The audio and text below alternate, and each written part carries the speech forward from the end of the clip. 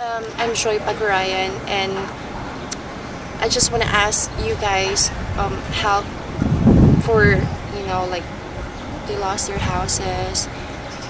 I, I was just really I, I mean I feel really bad because I was personally I was here in Palawan.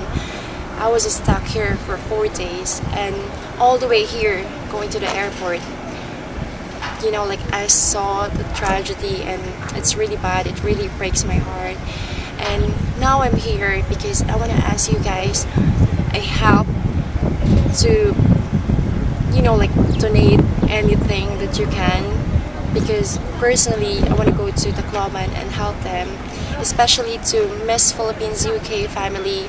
Um, I know guys that we can do something else. I know that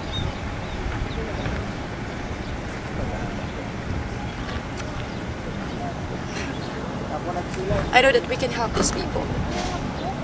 I have no idea personally because I was stuck inside the hotel and I don't know what's going on around us. And I just like watch the news right now because like this is the only day that we can fly going back to Manila. And I just watching the news this morning and it really breaks my heart that you can see like 10,000, more than 10,000 people which just passed away because of this super typhoon.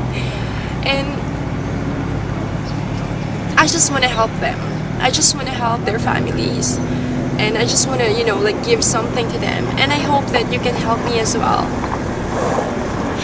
So, like personally, I'm asking your help and if you have like donations or whatever, like food to eat, like water, Um, sa tingin like, ilang tao ang namatay dito sa super typhoon? Um, confirmed casualties as of um, I think yesterday or the day before pa because we're not getting exact figures as of now. Confirmed casualties is three pa lang pero there are hundreds to thousands missing. Oh my God.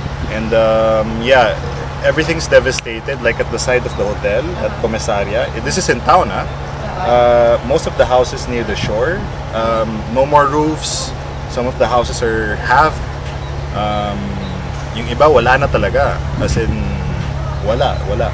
They're, they're, they're completely gone. Um, even in Mabintangen, um, where it's it's quite close to Coron, um, I would say maybe 90% of the houses are gone. I could see only two standing structures out of a 100. Maybe more, I don't know. So yeah, once again, we're asking for your help. Um, please find the compassion to help out our fellow Filipinos. And um, any help is appreciated. beautiful Filipinos are so resilient. They're just trying to start a new life again, trying to go back to what's normal. They'll do it.